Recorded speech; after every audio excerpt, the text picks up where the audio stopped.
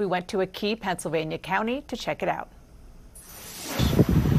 A line forms outside well before opening, waiting to enter the Trump house. We're ready for the next group. Come on in. A mecca of sorts for the president's supporters in southwest Pennsylvania, where Trump's record turnout four years ago helped deliver his surprise Pennsylvania victory and the White House. Shirt or hat per person. You got a sign or a flag. Leslie Rossi created the Trump House in 2016, where she pushed disaffected Democrats and never before voters to choose Trump. We gave people a place to come to to believe they could win. Hi, welcome to the Trump House. Now, Trump supporters show up daily for swag and yard signs and help registering to vote. We need Trump in there again.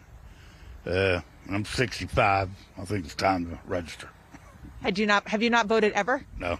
Rural Westmoreland counties seen a surge in Republican registrations. They help with that here too. Changed my registration from Democrat to Republican. Why? From what I've seen in the last past couple years, I'm ashamed to say I was a Democrat.